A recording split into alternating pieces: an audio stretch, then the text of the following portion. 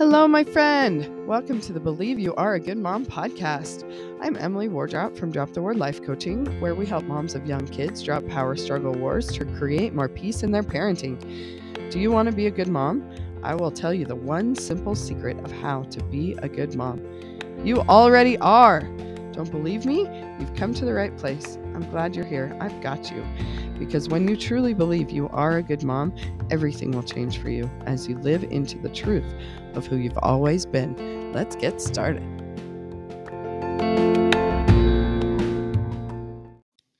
Good morning, good morning, my friends. This is Emily Wardrop from Drop the War Life Coaching, and today we are going to talk about the answer to every single one of your problems. How does that sound? Sounds fun, huh? So, um, as you may know, if you follow the show, frequently I'm talking about my inherent tuning call in the morning. So I get on a Zoom call with a bunch of other coaches. Not all of us are coaches, actually, and um, and we do a little meditation and prayer together, and um, get some revelation, and then we do some breakout rooms and kind of share what we received today.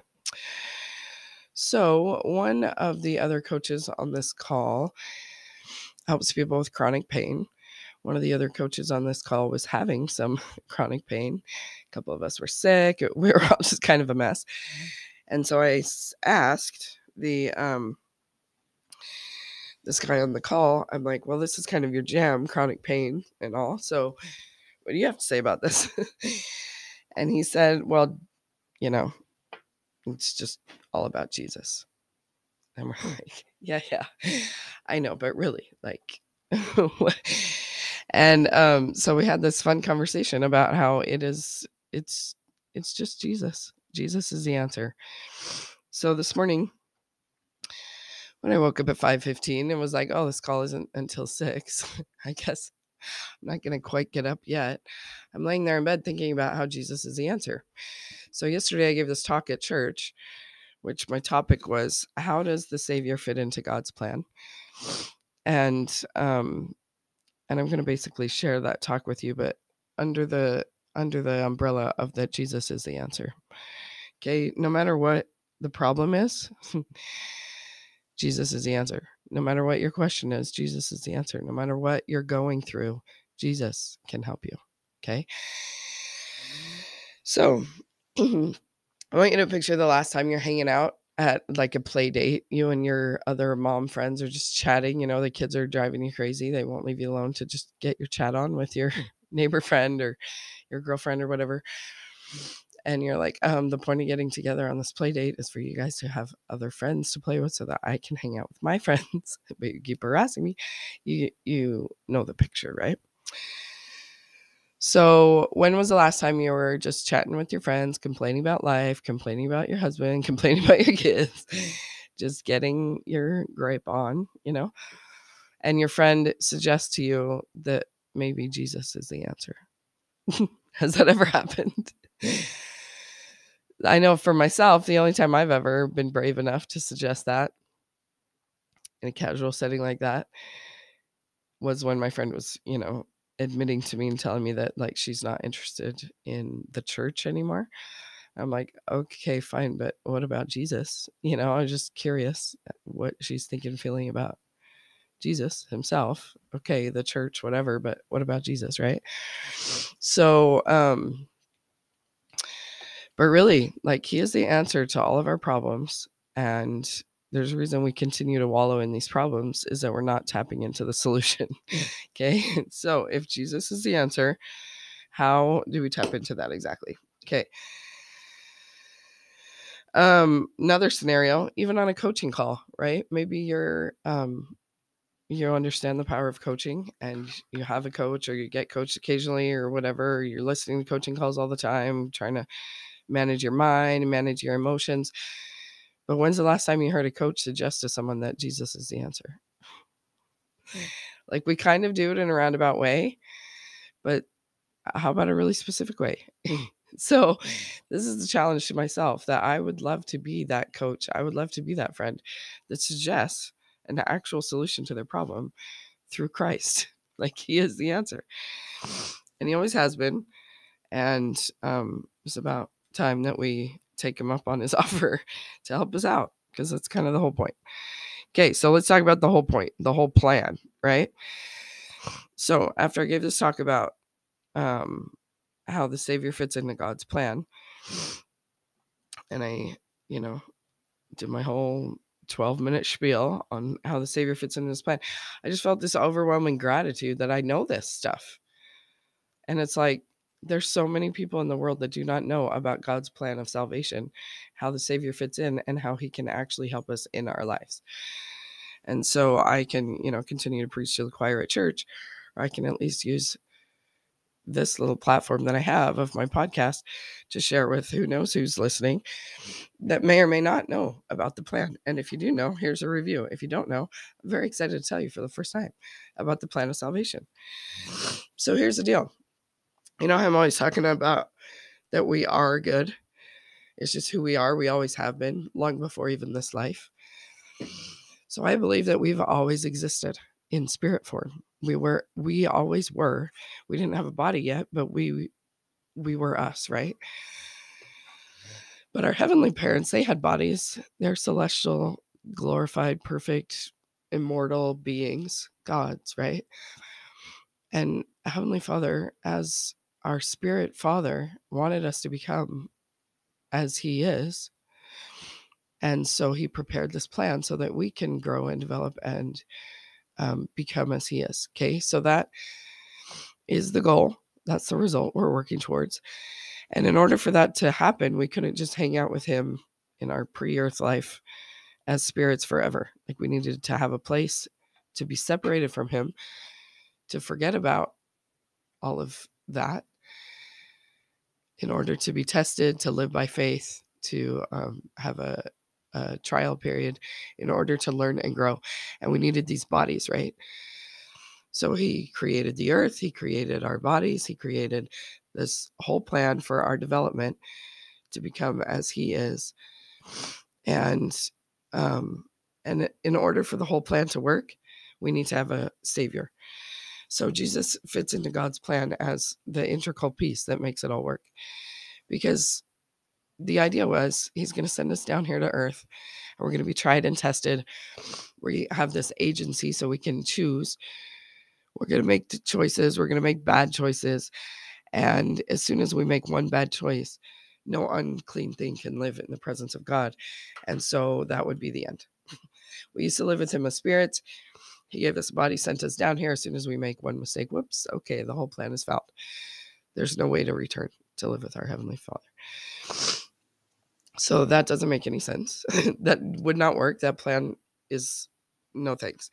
So the way to make the plan work is that we need to have an advocate with the Father. We need to have a Savior. We need to have a Redeemer who makes it who makes it possible for us to even use our agency, make decisions, make bad decisions, be able to repent, to change, to grow, develop. None of that is done in ease. None of that is done in perfection. None of that is done without a big mess. and the only way for a big mess to be possible and to complete our mission and have the plan work is the role of the Savior, right? So that is why Jesus is the answer to every problem. Because whatever the problem we're having, it's just a stepping stone in our development. And the only way to step on the stones and not just be lost in the sludge is through Jesus, okay? So he makes it possible for us to repent. He also makes it possible for us to do anything more than we're able to do in our mortal state. So we're immortal beings, but we're having this mortal um, experience right now for our learning and our growth. And there's no way to learn and grow without Him. Okay, so that's the plan. in a little summary, real quick, right? So, we are eternal beings. We've always existed in spirit form. God was glorified, immortal, and perfect. He wanted us to be like Him. We wanted to be like Him. So, He created this plan. In order for us to do so, we needed mortal bodies and a place to be separated from Him in order to be tried, tested, and and to prove ourselves. So God is good. God made us. We are good. Like I say all the time, it's my favorite. And we're mortals in this mortal probation, which involves sin, death, and everything else involved with these bodies. So we have our agency. The atonement can help us with those choices so we can repent. And also, the atonement is enabling through His grace, is the only way we can learn is to fail. And the only way we can learn from our failures is through His grace. So, the point of this life is to learn and how how to fully rely on God. So the whole point is to see ourselves as these, you know, fallen, imperfect beings and to rely on God to become who we've always been, but the next level, right? So when we remember who we are, who He is, our relationship to Him, then we can um, then we can rely on Him, have faith in Him, have trust in Him, and be yoked with him. So he wants us to trust him. He wants us to be yoked with him. And there's no plan without Jesus, right? So we'd be thrown down here to earth without any hope, one slip up and it's over for us. That wasn't the plan. The plan was to have a redeemer that can help us through all of our slip ups the whole time. We're never going to make it to a state of being able to do it by ourselves. The whole point is to be able to trust in God and be yoked with Jesus in order to make it through. So this plan also makes the suffering make sense. There's there's a reason for all of the illness, pains, struggles, all the drama of this life is for a reason when you can see the eternal perspective that truly we don't grow in ease that all of the hard things that we have to go through is for our good and and we can consecrate it to our good when we believe that. Otherwise, we just have to endure a bunch of terrible stuff and actually suffer through it for no reason. But if we want reason to our suffering, that's not really suffering anymore. It's just enduring, um, knowing that there is a purpose and that can lead us to the growth and purpose that it is. So we're able to make mistakes and learn from them. We're able to be strengthened beyond our mortal capacities when we remember who we are, who God is, and our relationship to them. And it makes suffering make sense. Okay, so that's kind of the summary. That's the gist. That was, you know, my whole talk. So Ether 1227 is my fave. So if men come unto me, I will show them their weakness, the weakness of the mortal condition, our state here as human beings he I give unto men weakness. Okay. So God created this plan. He knows that this state that He's put us in, He gave us this imperfect state, our weakness, our state as imperfect beings, right? So I give unto men weakness that they may be humble, and my grace is sufficient for all men that humble themselves before me. For if they humble themselves before me and have faith in me, then will I make weak things become strong unto them. So we're on this earth in this weak condition, and He will make those weak things become strong unto us as we trust in Him, are humble, believe in His grace that it's sufficient, have faith in Him. That's how we make weak things become strong. So we learn in Alma 7 that, of course, we know that Jesus is here to take upon him our sins. There's so much more than that. So he went forth suffering, pains, afflictions, temptations of all kinds, pains, sicknesses. And he took upon him death and our infirmities and our sins. So, all of those things so that he would know how to succor us. So, God came down to earth and took on a mortal body also, so that he knows what we're going through in our mortal bodies. He's felt every feeling we feel. He knows about emotions and about and about all that goes with these mortal bodies. He suffered temptations of all kinds. He was perfect, so he didn't um, do anything with his emotions or his temptations that um, that was sinful. But he knows that we will, and that's the whole point, right? Is that he's come down in order to take upon him our sins. And so let's tap in. Let's let him be the answer to all of our problems. So it all sounds nice in like a Sunday school lesson kind of way, but like you hit the ground and you like come back into real life and it's like no life is hard like all day long there's frustrations and suffering and pain and trials and temptations and and like like where's jesus now in the, he's there, I promise, in the midst of all the muck. He's there with his hand outstretched to lift you up and help you out. And I just love being able to have the honor of being a conduit to help you tap into his grace, his power, his strength to help you through your problems. So, like I said, you can get help on a coaching call. Coaches will help you make it through this mortal life because we're helping with the mortal problems, right? Helping you with your thoughts, helping you with these emotions. But really, like, he who's been through it all is the answer. And so, like I said, I would love to be that coach for you that reminds you of that. That's of interest to you.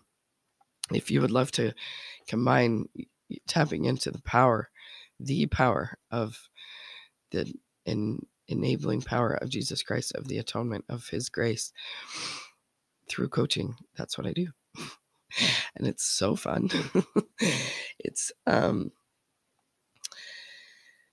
it's um it's kind of like um like a solid technique of how you know because i know when i used to teach class at church it was like every single class it was like okay this sounds nice but how you know and so it's so fun to have found a solid actual how but it really is all leading us back to he who is the how Jesus Christ is our mediator. He is our redeemer, our savior, our deliverer. Our, he created us. He's the anointed one. He's our advocate. These are all his roles in this plan of salvation, and it is happening all around us all the time. Whether we know about it, whether we believe it, it is the plan and it's happening. So if you need help, reach out. I'd love to help you. So, um, I'm doing these free relationship boost calls right now. And something interesting I've noticed in people's relationships is um, when they think about the kind of relationship they want to have with someone, there's a lot of in their action line, it's time. They want to be spending more time together. And so, as we build our relationship with Jesus Christ, how much time are we spending with Him, asking for His help, thinking about Him, praying and and really being with him and tapping into that enabling power that helps us with the struggles of our day-to-day life so you know they say that um the way to spell love is t-i-m-e right so we're always trying to tap into more love it's his love that we're that we're trying to feel and share with all those around us right and feel towards people so as we think about our thoughts that are helping us generate love for other people? What are our thoughts towards Jesus himself? And how is that helping us tap into his love and spending time with him, building that relationship? So these are things that we work on in coaching. And I would love to give you a free relationship boost call where you can boost your relationship with any earthly relationship or if you want to work on your relationship with Christ or with your heavenly father, anybody you're feeling a strain we can boost it in one quick free call. It's really fun and it's really easy. All you have to do is show up with someone in mind that you want to boost. So go to dropthewar.com and you can sign up for a free relationship boost call. And I will see you there. Thanks for enduring my um my half gone voice. Hmm. All right. Remember, you are a good mom. It's who you are. You've always been. You've always existed. God created you. He's good. You're good. It's all good and we're in this mortal state where we're making mistakes and learning from them. And Jesus is the answer to all of this mess. So, love you, and I'll talk to you next time. Hi, thanks so much for listening. Have you signed up for your RBC yet? What is an RBC? Well, it's a relationship boost call, and I am gifting 365 of these for free this year. So go to dropthewar.com forward slash appointments to find a time that works for both of us. We'll hop on Zoom for a quick 15 to 20 minutes, and all you got to do is have somebody in mind that you want to improve your relationship with. It's fun, it's easy, it's a good time. You're going to feel amazing afterwards and no strings attached. Just come on, have a great free coaching call, and then go on your way. And you can come back for as many as you need because we know it's no one and done around here with relationships. So go to dropthewar.com forward slash appointments to find a time that works for both of us. And let's get boosting those relationships. See you there. Bye.